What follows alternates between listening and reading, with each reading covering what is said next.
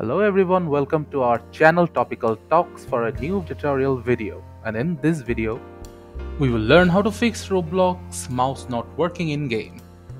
So in order to check if our mouse is working properly or not, we'll have to get into any game in Roblox. So I'll go to this game.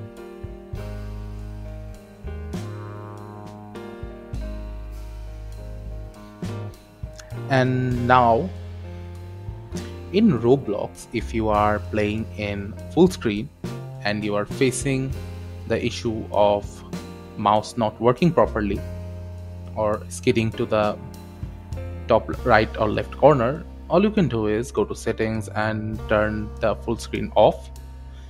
So you can play the game in windowed mode to avoid any unnecessary mouse problems. Or you can set the windowed screen size according to your need and see if it fixes the issue.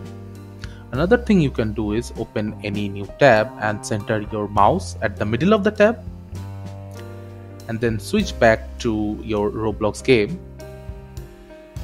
And sometimes after using this technique, your mouse problems can be solved in Roblox.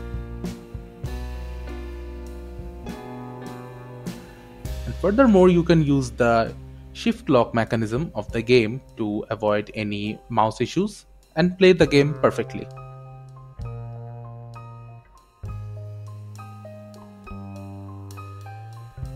Thank you again for watching the video. Make sure to like this video and subscribe to our channel and see you in the next video.